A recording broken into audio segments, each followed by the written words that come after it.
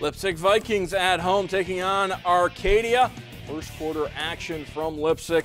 Jordan Brown working hard as he gets the rebound off glass and in for the home team.